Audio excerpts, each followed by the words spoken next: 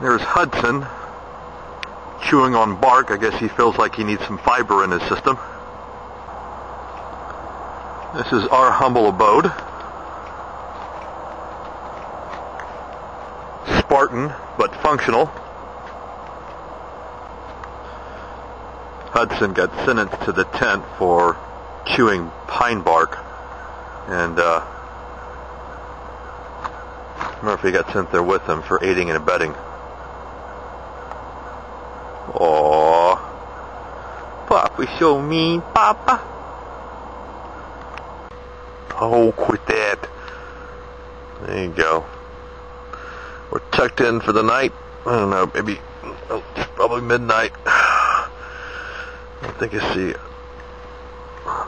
it. You're scratching yourself, that's what you're trying to do. Here's Hudson.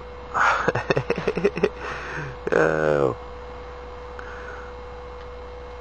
Oh, I love this time of night. Look at that handsome boy.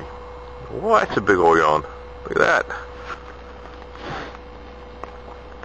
It's about 15 till 5. I was just awakened by raindrops.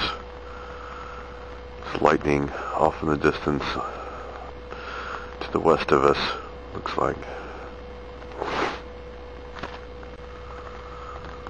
Still sounds like it's about maybe